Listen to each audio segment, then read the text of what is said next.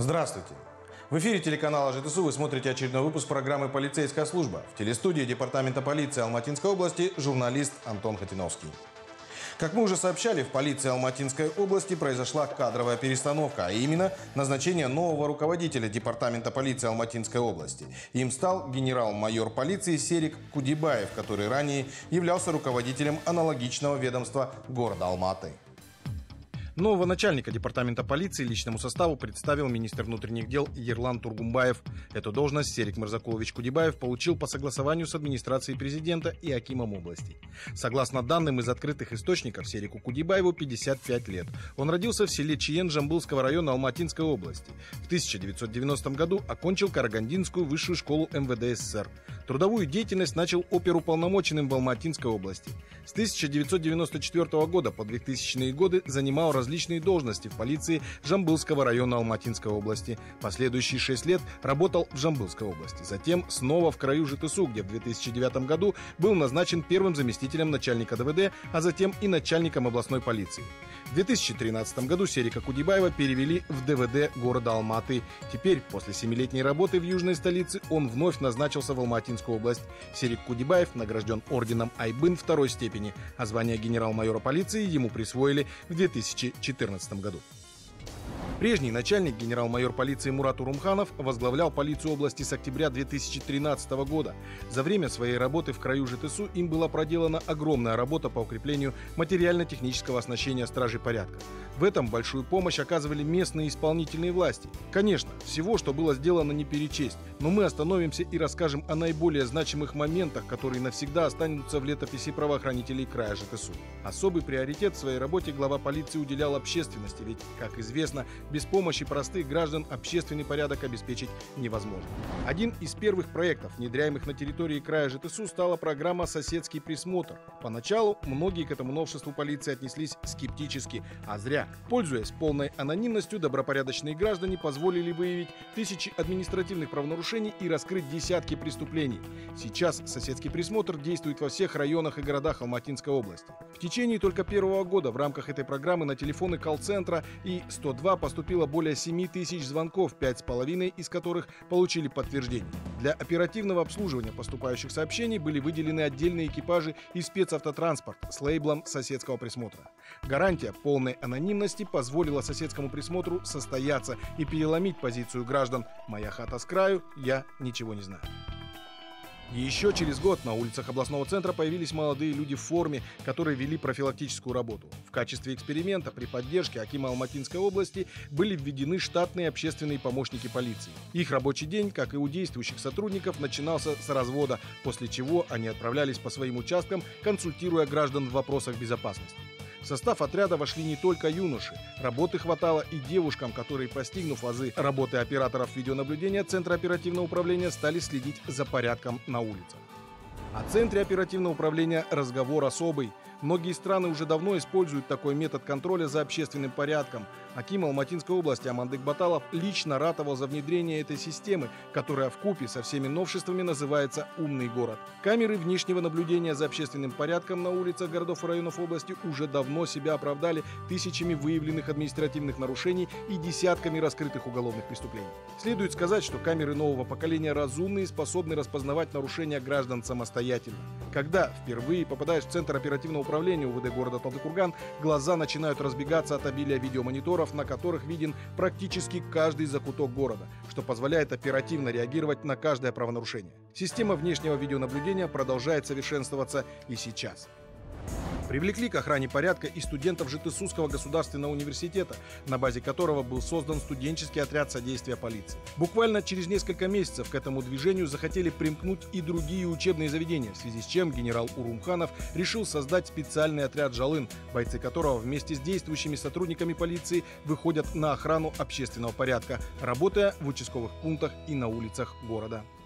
О участковых пунктах полиции разговор особый. Аким области опять же таки с подачи начальника главка областной полиции Мурата Урумханова одобрил и выделил бюджетные средства на строительство принципиально новых участковых пунктов полиции, совмещенных с жильем. Таким образом было решено сразу несколько злободневных вопросов. Участковый инспектор получил ведомственную жилплощадь со всеми удобствами, а население подведомственных территорий – круглосуточную помощь полиции в отдаленных районах, что позволило существенно повлиять на общую картину правонарушений нарушений. Следует отметить, что каждый такой пункт оборудован согласно требованию времени. Установлена необходимая оргтехника и обеспечена связь, а в некоторых случаях и возможность контроля обстановки через камеры наблюдения. Следует отметить, что в прошлом году один из таких пунктов, расположенных в Искельдинском районе, согласно проведенного МВД конкурса, был признан лучшим в республике. Решили и вопрос открытости и доступности правоохранителей, в связи с чем, учитывая, что отделы полиции, как ни крути, являются режимными объектами с пропускной системой, перед входом построили специальные небольшие помещения для приема граждан, которые теперь получили возможность напрямую задавать проблемные вопросы непосредственно руководству полиции. Теперь фронт-офисы работают в каждом районе.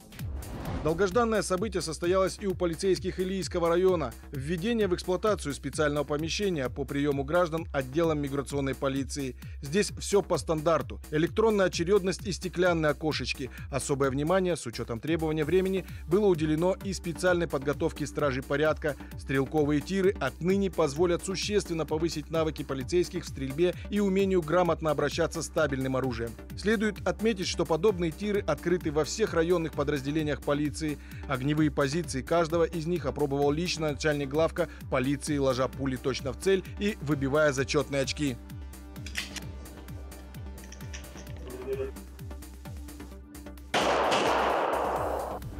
Не забыли и о физической подготовке, оборудовав специальные тренажерные залы, где есть все необходимое для поддержания здорового образа жизни и необходимой спортивной формы.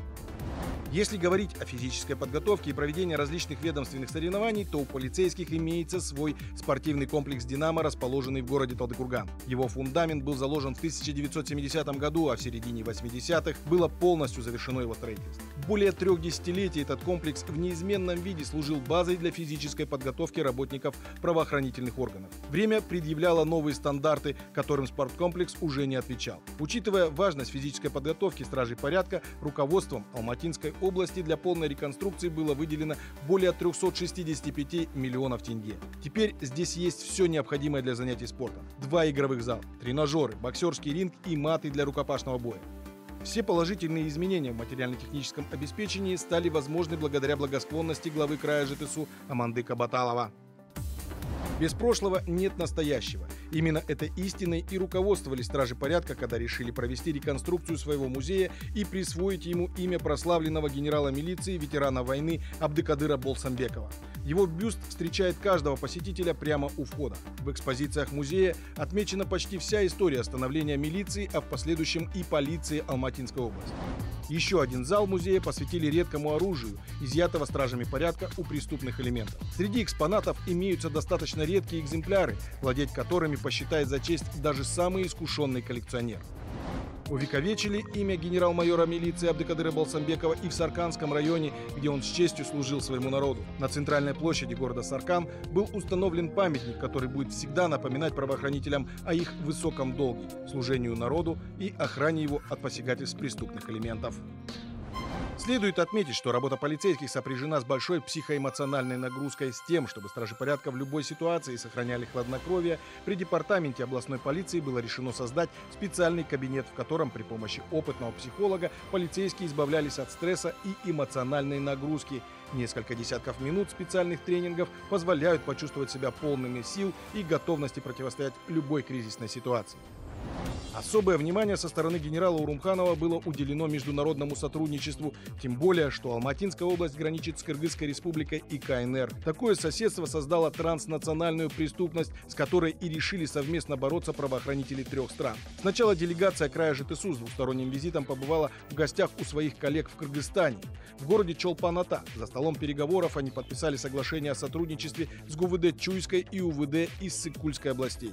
Главный вопрос – противостояние наркотрафику и скотокрасту, которым промышляют жители приграничных территорий. В этом же году на территории Китайской Народной Республики полицейские Алматинской области и стражи порядка или Казахского автономного округа КНР решали почти аналогичные проблемы приграничного сотрудничества. Главный вопрос повестки дня – общественная безопасность в Центре приграничного сотрудничества Харгос. Местом встречи стражей порядка двух стран стал город Инь-Инь, расположенный недалеко от границы с Казахстаном. Последний раз на таком высоком уровне полицейские двух стран встречались в начале строительства Центра международного сотрудничества Харгос. Проблемные вопросы преступности, которые предстоит решать, наметили еще тогда, и вот теперь наступило время действовать по конкретным пунктам, главный из которых контроль миграционного потока и обеспечение общественной безопасности на территории международного центра. Каждый пункт совместной работы подвергся тщательному обсуждению и отработке механизмов совместных действий.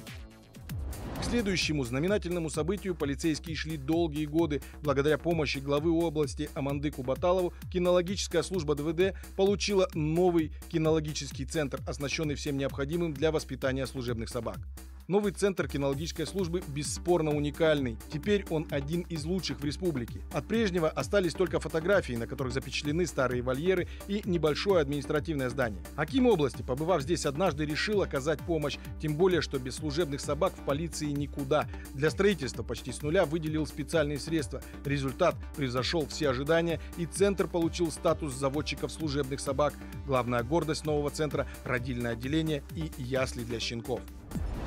Укрепились и позиции криминалистов, которые, опять же таки, с подачи первого руководителя силового ведомства при поддержке Акима края ЖТСУ получили в свое распоряжение криминалистические лаборатории, оснащенные по последнему слову техники, что сразу же сказалось на качестве проводимых экспертиз. Криминалистический отдел – это не только лаборатории и анализы. Здесь хранится вся база данных на уголовных преступников и простых граждан, когда-либо попадавших в сферу интересов полицейских. Следует отметить, что в новом помещении отдела созданы все удобства для плодотворной работы. Уютный конференц-зал позволяет проводить рабочие совещания, а передвижные криминалистические лаборатории проводить сложные анализы непосредственно на месте происшествия.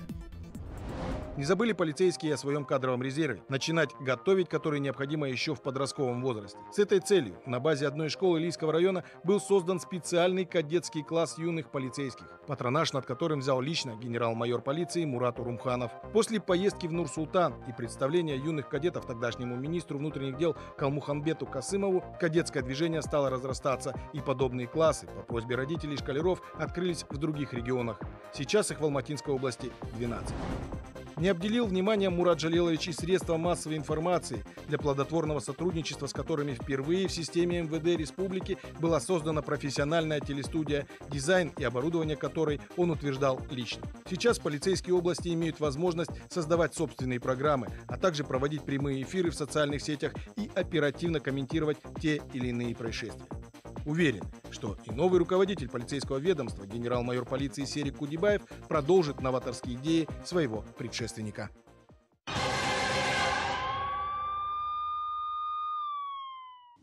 На этом очередной выпуск программы «Полицейская служба» подошел к своему завершению. Будьте бдительны и помните, что только сообща мы сможем навести общественный порядок. Но если с вами что-то произошло, либо вы стали очевидцем правонарушения, либо преступления, незамедлительно сообщайте об этом по телефону 102, либо по номерам телефонов соседского присмотра вашего региона. Но если у вас есть вопросы по работе полиции, присылайте их на наши электронные адреса, которые сейчас вы видите на своих телевизионных экранах. До следующей встречи в эфире телеканала ЖТСУ. До свидания.